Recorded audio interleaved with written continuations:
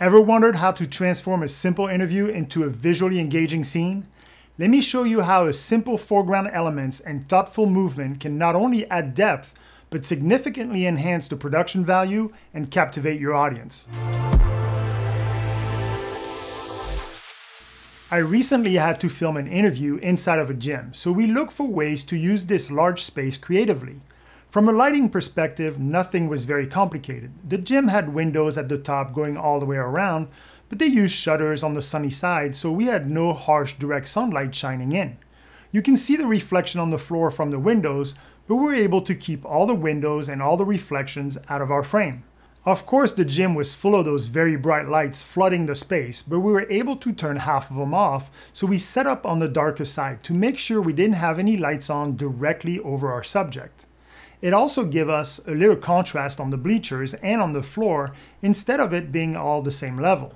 We now have a nice gradient and different pockets of lights and shadows on the floor and in the bleachers, giving our shot some texture. We wanted to frame the bleachers and the basket in the background, so we quickly knew where we would be setting up.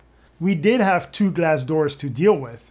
One we decided to leave in the shot because it gave us some nice reflections on the floor, breaking some of the flatness. The other one is in the front of our subject on the fill side. So we had to find a solution. Well, we only had a 72 inch neg, so all we could do was to place it on the stand and move it as close as we can to our subject where it could cover him and protect him from getting flooded by the daylight. We bounced our key lights off of a large umbrella to soften the light and wrap it around his face. You can see on the false color and the EL zone system how much the light wraps around him in a soft gradient and a good contrast ratio. We also set up a small backlight. We're using the FX6 on the tripod and the FX3 on an automated track. This is the Edelkrone motion system with the Pro head, and it was also our first time using their vertical module, allowing us to use the track at an incline. Now I'm not endorsed by Edelkrone, this is just what I happen to use. We placed a basketball rack in the background to fill some of the space behind our subject's shoulder, and we used another basketball rack as a foreground element for the camera on the track. With the track at an incline, we created a movement where our foreground goes in and out of frame. That way we could use it as a reveal to kind of surprise our viewers. It's not much, but it's something that can really help with viewers' engagement. I framed part of the rack at the end of the movement to give viewers a reference on how those balls were there. They see the rack in the background, now they see part of the rack in the foreground, and viewers know exactly what this is. Now I could have made the move more dramatic, like lower and maybe wider, but we also didn't want this to be a distraction. It's enough to add something different than just a sit-down interview. In the background, we added a light focused on the basketball.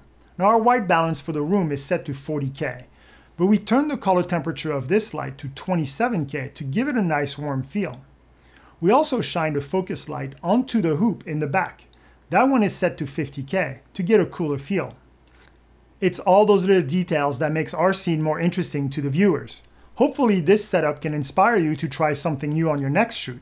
I would encourage you to explore ways to add foreground elements and movement to keep viewers engaged. Thank you for watching this video until the end. As a token of my appreciation, I'd like to offer you my free camera setting cheat sheet. Just follow the link below to download your free cheat sheet. Thanks again, and happy filming.